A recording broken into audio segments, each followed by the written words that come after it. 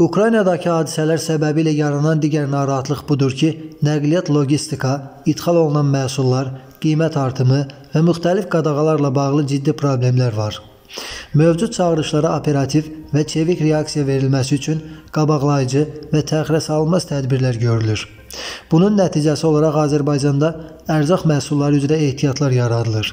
Əlavə təchizatla bağlı bütün digər mümkün və lazımi tədbirlər həyata keçirilir.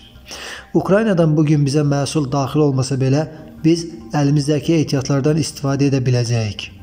Qafqaz İnfo xəbər verir ki, bu sözləri Prezident İlham Əliyev, Baş nazir Əli Əsədov və digər bu işlərlə məşğul olan aidiyyatı şəxslərə verdiyi tapşırıq zamanı deyib.